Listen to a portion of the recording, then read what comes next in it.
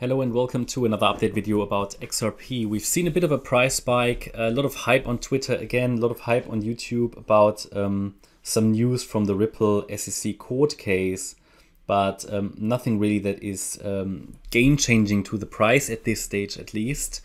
But uh, we've seen obviously a little bit of a spike as a result of that. Now, previously, when we had these kind of news events, these small catalysts, um, especially since June, all of these rallies have been in three waves. Yeah, we, we should know that by now. And therefore, I'm really happy to be a bit late on this one to call a low because so far price action is only again in three waves to the upside here. And I prefer to see some further confirmation before indicating a low is in. Yes, we broke out of the descending wedge. That was for us an indication that we are in the larger fourth wave. Yeah. Um, I took out the micro count now, but we had uh, before the idea that we could get one more tiny low in the third wave, but a breakout of the wedge pattern would suggest we're already in the larger fourth wave. Now, we are now probably in this larger fourth wave because if I measure the retracements of the larger third wave, then you can see that we reacted perfectly to the 38.2 Fibonacci retracement at 46.2 cents. Now that's an ideal target for a fourth wave. Um, it can still go a bit higher, absolutely, but a sustained break above 47.8 cents would then indeed indicate something a little bit more bullish. I would also like to see five waves up to indicate that we have a low in, but at the moment I don't see five waves up. Yeah. So at the moment we even get an overlap here between this spike and this low. So that again would confirm that there is some weakness in the chart and you can see the red or bearish reaction to resistance.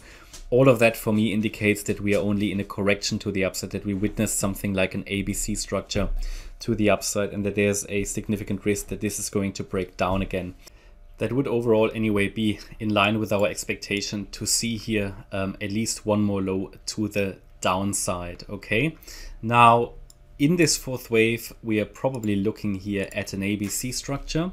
So I'm looking here for an A wave to the upside, a B wave to the downside, and then a possible C wave to the upside. Um, that could indeed be finished now. I mean, we reacted to the 38.2 retracement.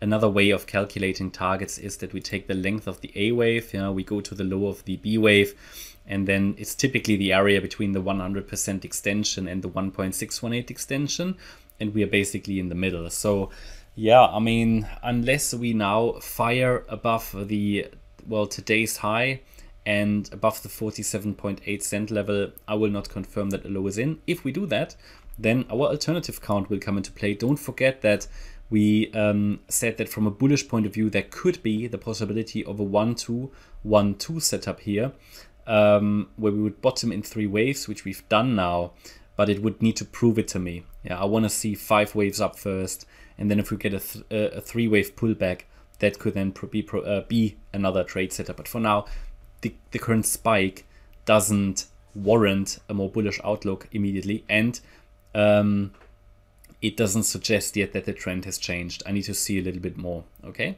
So from that point of view, another low is still anticipated. Um, from the current standpoint, if we get another low, what would be a target? So let's say wave 4 really topped here. Uh, I don't have strong evidence it has yet, but if it has, then a typical target would be, you know, we can take the length of the wave 1, we go to the high of the wave 4, and then it would take us down to around about 35.8 cents. That's certainly one way of looking at it.